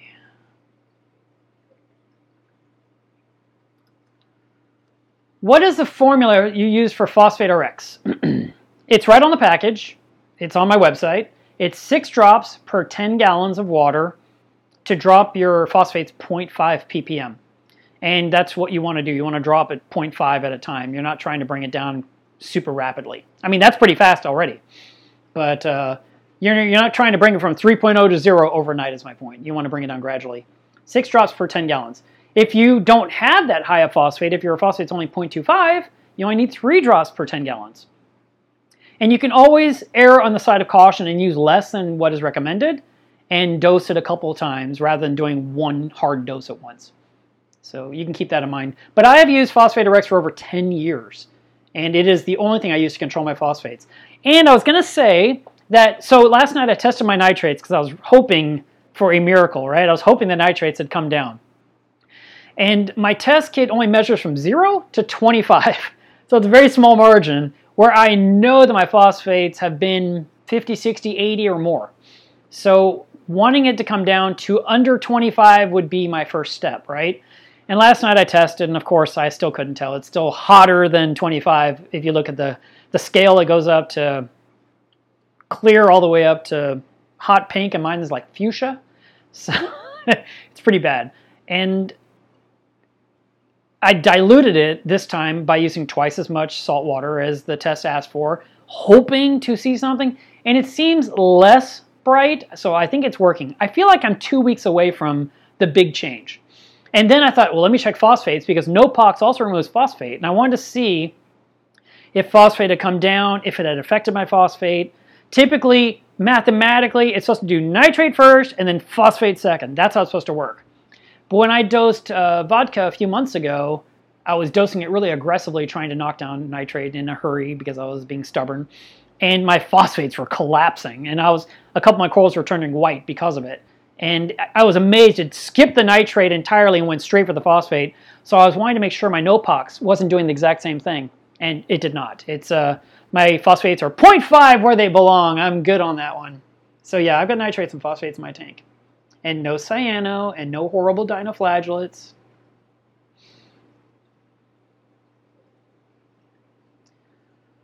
Anyone have a mandarin without copepods? I know the spelling isn't right on that. No, actually, uh, you're really close. You got an A in there and it's supposed to be an E. Other than that, it was right. Mandarins like to eat copepods. That is their main diet. And if you read threads online, you will constantly see people say they eat two to 3,000 a day. I don't know who came up with that number. I don't know who has two to 3,000 copepods in their tank every single day. But if you're lucky, you can train your mandarin fish to eat frozen foods or dry foods that you add to the tank and that would be your goal. There is a video on this channel that I filmed a very long time ago that I found on my hard drive from 2005, I believe, where I had trained my mandarins to eat pellet food, and so that video shows it. And I used a very small jar, an olive jar, and I put the pellets in there and I lowered the jar into the tank so it was laying on the sand bed. And then the mandarin can swim in and get some pellets and swim back out.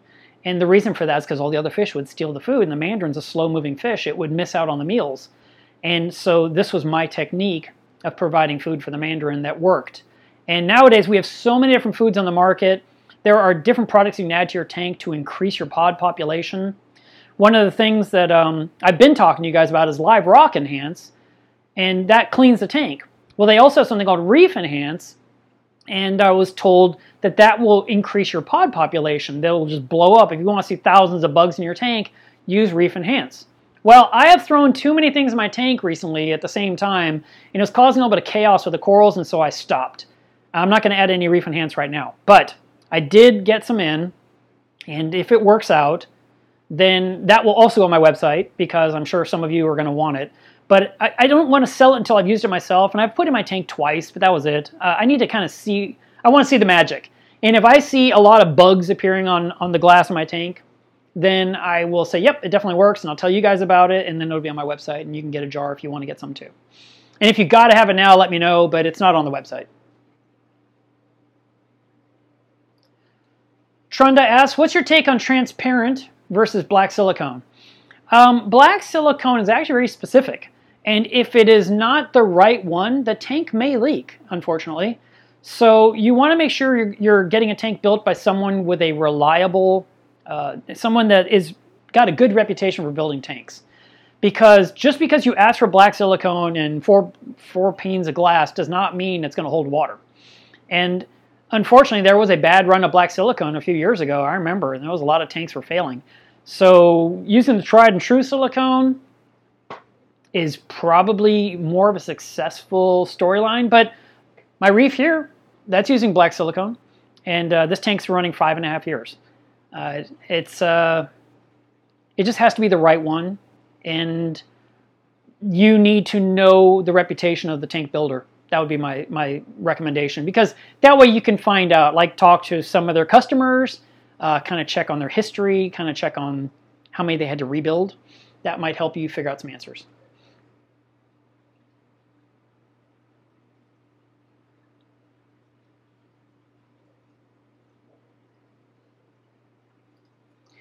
Tyler has a chemistry question for the class. my tank is testing at 490 calcium, which is a little high. Uh, my alkalinity is 7.5 and 1500 for magnesium. Can I dose all to raise the level or do I need to do two part? I don't have a heavy stock of SPS, just coralline growing. Well, to be honest, you should stop dosing magnesium and you should stop dosing calcium right now. And I would just add a little bit of alkalinity to bring that number up a little bit higher. That sounds a little bit low. And if you are somewhere between 8 and 11, like 8.5, and stay there and stick there, your tank will do really well. Your magnesium is too high at 1500. You're going to want to be somewhere between 13 and 1400, and you're going to want your calcium to be at most 450. So what you can do, since you don't have much livestock in there right now, and it's just kind of you know growing coralline, wait a week on definitely magnesium and calcium, and just dose alkalinity and see where your numbers land in a week. I think your alkalinity will come up slightly.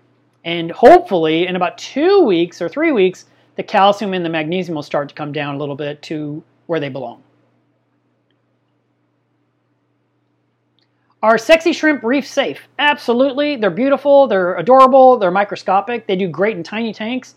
Because if I put one of those guys in my 400 gallon, I would never see it again. Keep in mind there are certain fish that eat shrimp.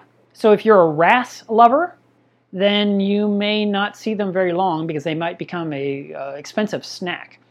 But if you don't have any wrasses in your tank, odds are it'll be okay. Sexy shrimp do like to congregate near anemones. Uh, that's a good spot for them. They, that's really the spot I see them most.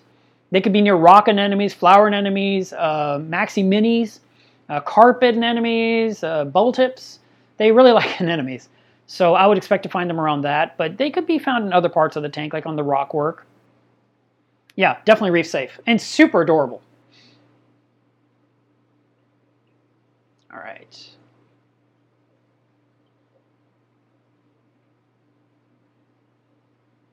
Oh, it seems like everyone's running a stream today.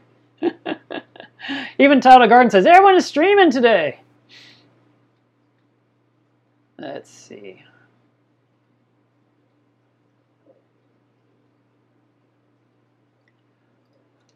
Moshe says that every time I throw a frozen cube into my tank, my skimmer goes nuts.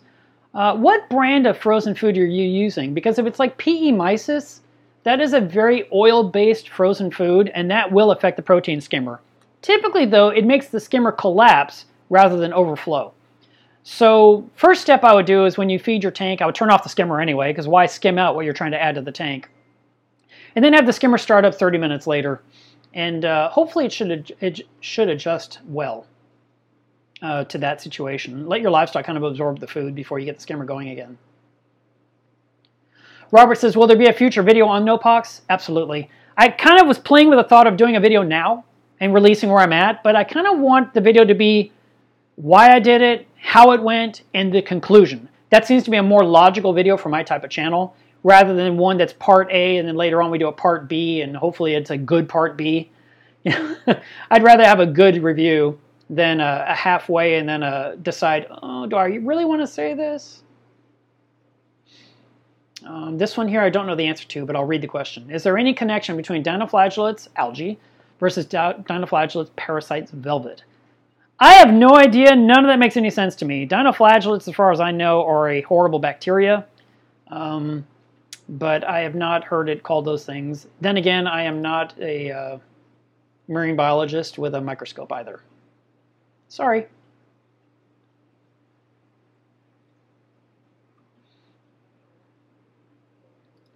Gregory asks, uh, or he says, I have a blue throat trigger, uh, and I'd like to get a cleaner shrimp for the benefit of my other fish.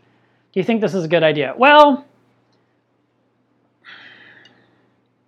I don't think that trigger is going to have a problem with your cleaner shrimp. Whether the cleaner shrimp benefits your fish or not is what I'm debating because sometimes cleaner shrimp are just pretty and they're just a part of your tank, but to see them actually picking a fish clean doesn't seem to happen as much in reef aquariums. I mean, yeah, it does happen on occasion.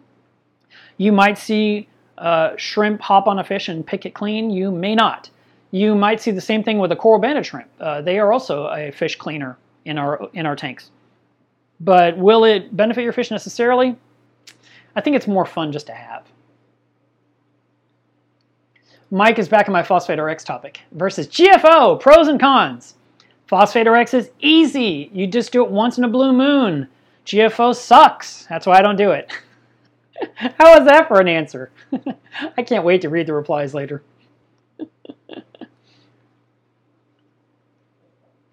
uh, let's see.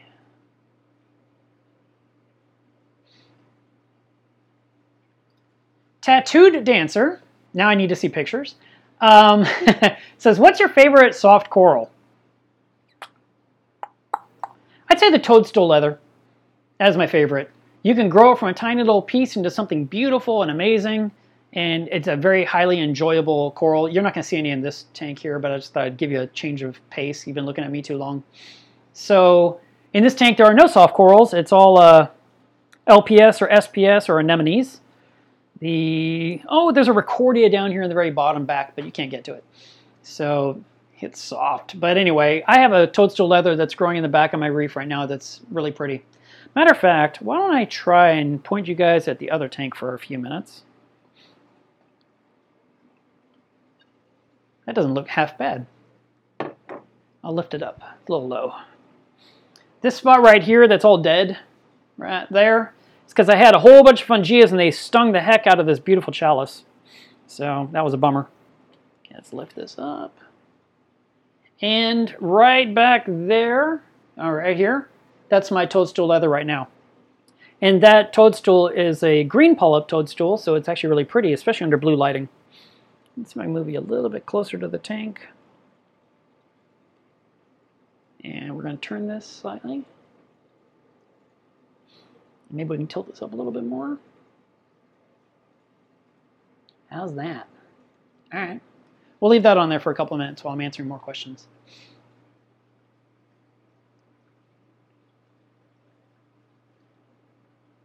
Catherine says she watched the Mandarin uh, Dragonet video and tried it, and it worked. And hers are eating Formula 2 pellets. Isn't that interesting? Because Formula 2 is the vegetarian diet, where Formula 1 is the omnivore diet, and yet you're right. Mandarins will either or both.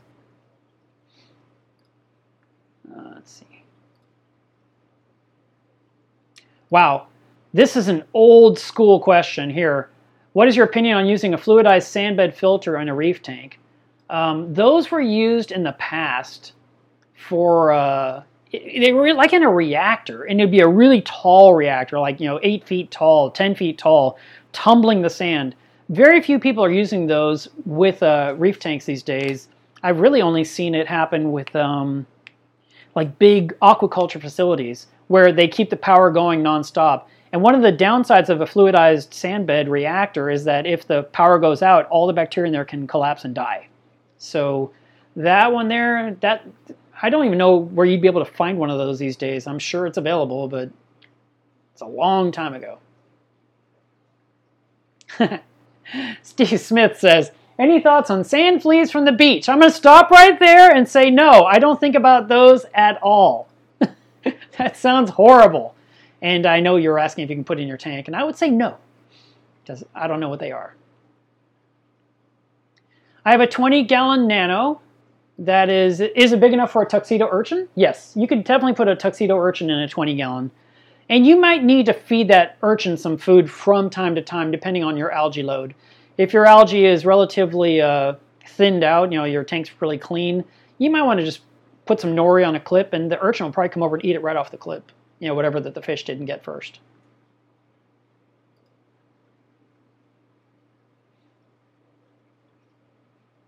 Uh, Tyler, I see your response to my questions about magnesium, calcium, and alkalinity. Anyway, um, whether you're not dosing anything at all, I would, you might have to change salt brands if those numbers stay that high all the time, or double check that your numbers are even true. It could be that you need to have that retested and verify those numbers because they may not be accurate. I'm seeing too many lights on the screen here. I want to see if I can fix this a little bit better. Let's do that. It's a little nicer. By the way, I've got over here three um, Anthias. And if you'll look, you notice there's one that's in the foreground, really pretty. And then I've got these two right here. This is the male, and these are the females. When I bought them, I had three females, and this one turned into a male. And it's getting more and more of that rich purple color. It's not there yet. It's still got a lot of orange in it. But the girls, by comparison, are vivid orange with their beautiful purple eye, eye uh, I don't know, eye makeup. and uh, the male is they're hanging out in a group, and I love it. I really would like to add more Anthias. I think that would be a lot of fun. All right.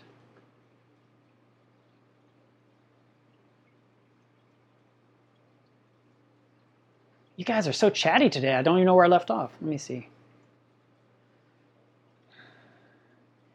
Drew asks, do you leave the flow on when you feed or do you stop the flow temporarily to feed? I turn off the return pump so my food stays inside the tank itself. But I have all the Vortechs moving the food all over the tank, and the fish chase it every direction until it's gone.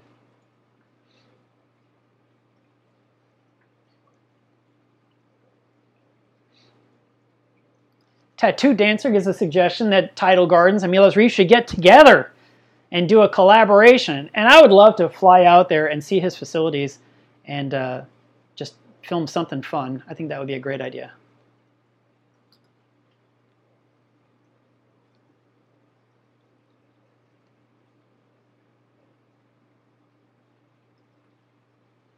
Uh, here's an interesting question.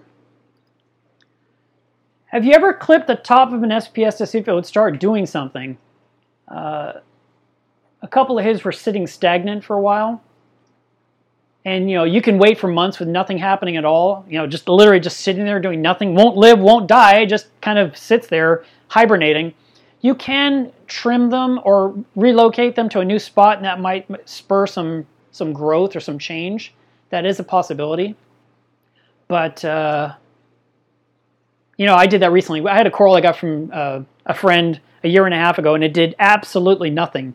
So it was recently placed in the back of my reef in a new spot with different flow, and we'll see if it does anything at all. I have no idea what's going on with it. Someone asked, what's the topic today? Gold Slinger. And I got to tell you, we already did it. now we're just doing the Q&A. so you have to play back the beginning later to hear what we talked about. Oh, here's an interesting question. What is the minimal tank size for a clam? That is really interesting because you don't often hear that question at all. So clams are come in different sizes. And it would I guess we could start off with what size clam are you buying in the first place? If you're getting one inch clams, you could probably have a couple in a nice all-in-one 20 or 29 gallon aquarium and do perfectly well for a couple of years. But if you're wanting something bigger like a Derasa or a Crocea, uh, God forbid you want a Gigas, which are these ginormous super clams. Those have to be in thousand gallon aquariums because they're so big and they absorb so much calcium and alkalinity. You got to be able to support it, and it would never last long in a small environment. Um, but yeah, so it comes down to the type of clam you want in the first place, and of course, will your system support that life? Because though they are very demanding, they definitely are filter feeders. They need plenty of food, and while we have an abundance of foods we can use, they need good adequate light. They need good adequate flow. You know, you need to stay on top of your parameters and keep the tank very stable. But other than that, yeah, no, clams are awesome. Matter of fact, I it's I'm long overdue to get some clams in my tank again. Let's see.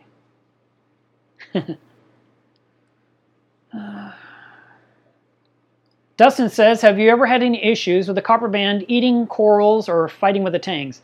No, matter of fact, the tangs don't even notice the copper band at all. I'm going to move this camera over again, give you another different view. And still see these darn lights. I don't like those lights sitting there on the ceiling. Let me see we change this and bring this down a little bit lower, give you a better view of Spock. Still getting those lights. I guess I can't help it. That's just the angle you get. But, or actually, you know what? Let's do it from the front. We have enough wire, I think. Okay, let's do this. And I could remove that filter. It's going to look a little blue to you guys. I think this is better, though, for now. Trying to find that sweet spot.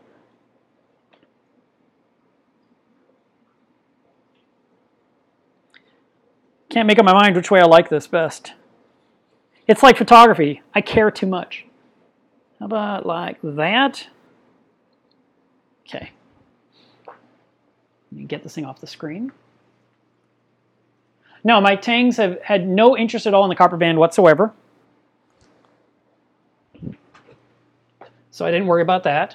And the um, the copper band was initially there for Aiptasia and Majano control, and now she's so spoiled she's ignoring the Majanos, and I have to go in there and kill the Majanos myself.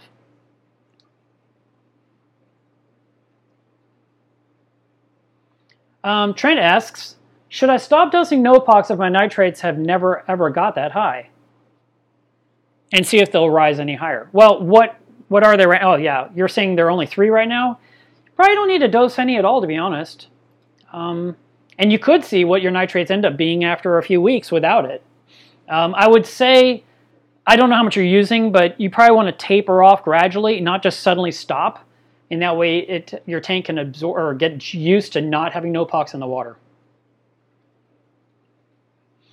Um, and then Josh asks, what would happen if a hammer coral comes in contact with a Nephthya, which is a leather coral? Um, odds are the hammer may get stung. The Nephthya itself won't be harmed by the hammer coral. If it was a torch coral, the torch would win for sure. But I think the hammer coral would get hit by the Nephthya uh, in a little bit of chemical warfare. I would definitely separate them. Um, are you still using the Abyzz pump and at what percent? I believe right now my Abyzz pump is running around uh, 83%. uh, it's just, it's pretty much set it and forget it. It just runs. And Eddie asks, is $100 for a neon, neon tip torch a good deal? It sounds like it because a lot of these corals are not accessible anymore. So what's left on the market, the price is just going to go higher and higher. Um, it depends on do you like the color, the size of it, how many polyps there are. You know, is it just one polyp or is it, I mean, one head or is it multiple heads? Uh, you'll have to shop around on that one, but 100 doesn't sound horrible to me. It might be a little bit high compared to the old days, but you know things have changed now that certain corals can't be exported anymore.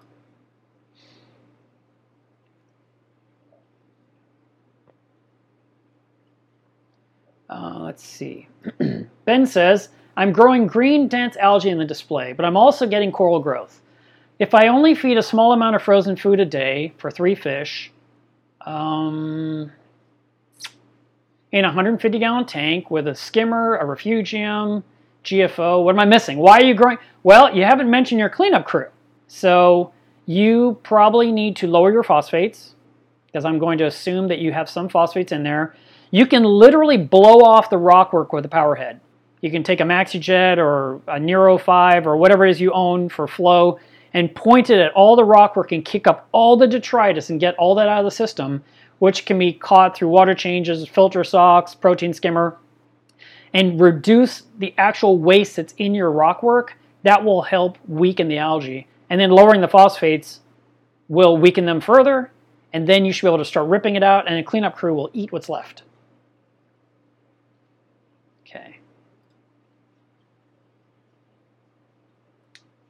Um, Antonio asks, would it be possible to see the flow of the the uh, Vortechs turned off? They're out of reach right now at the moment, um, and I don't think you're going to see a lot of action in my tank when the Vortechs are off because the VCAs are pointing straight at those SPS corals, and SPS corals don't show any action, so it'd be kind of boring.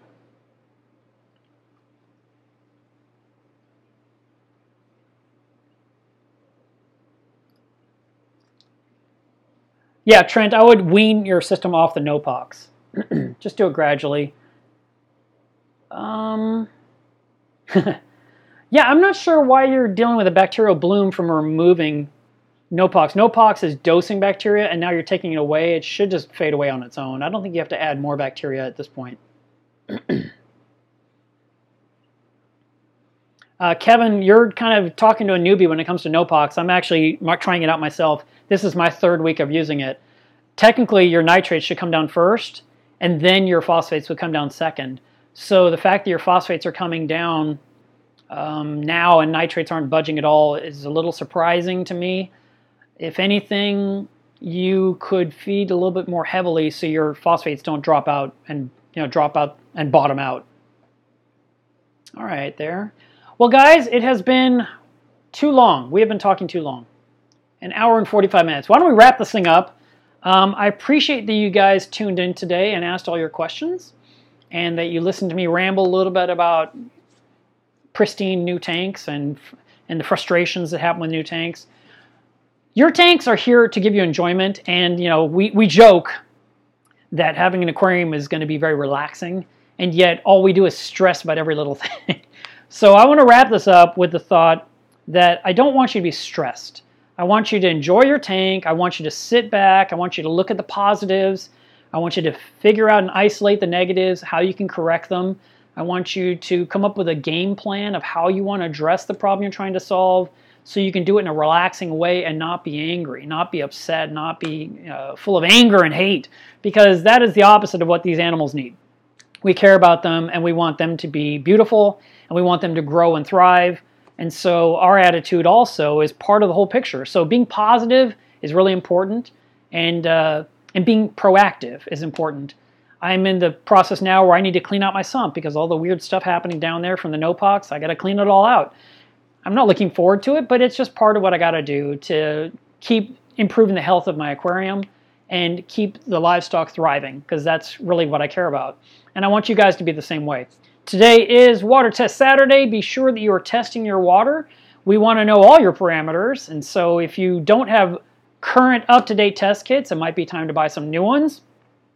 As reef keepers, we test alkalinity, calcium, magnesium, salinity, temperature, pH, phosphate, nitrate, um, and if you have a controller, you can also track your ORP.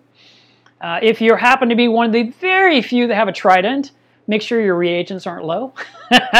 That's a joke. Uh, at some point, we are going to have to worry about those kind of things as more and more people get that gizmo. But, uh, you know, you might have an Alkatronic or something like that, and it uses reagents. You want to make sure they're filled up. Make sure your waste collector is emptied out, you know, those kind of things. Uh, I also always recommend on Saturday to clean out your skimmer. We recently had storms blow through. Did you remember to clean out your skimmer before the storm hit? Did you know that barometric pressure affects your skimmer and can make it overflow and all the stuff sitting in the cup will just bubble over and go right back into your system because you didn't clean it out because you were lazy? So make sure you clean out your skimmer.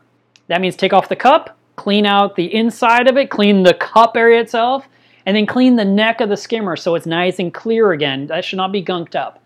And if you want, you can use something as simple as an all plastic toilet brush or glass cleaning brush this right here works in all my skimmers. It works in the collection cup, it works inside the neck, and it works down inside both Nyos skimmers.